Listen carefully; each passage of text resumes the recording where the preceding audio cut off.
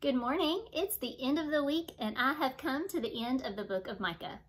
And while I was ending it, I came across a verse that sparked a memory in my life that I will forever be grateful for. Let's read Micah 7, 8. Do not rejoice over me, my enemy.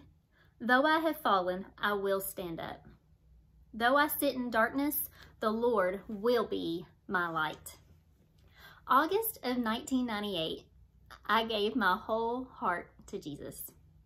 I look back and wonder if my big brother Dennis James hadn't been obedient to the Lord to invite me into his home to visit with him and his family for a couple of weeks, where would I be today?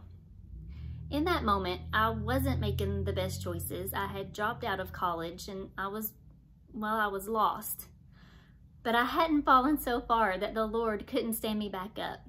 And when I fully surrendered, lifting my hands to him, I never put them down, spiritually speaking.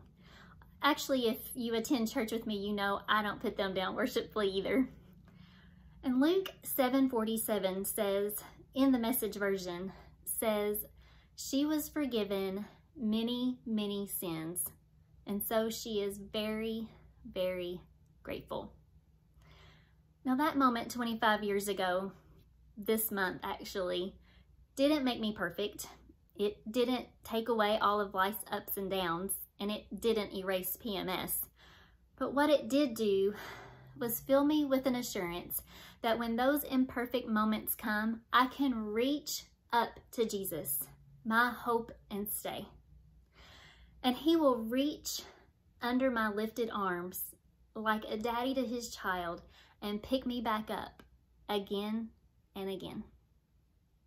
If you think you've fallen too far, you haven't. He is just waiting and ready to stand you back up again.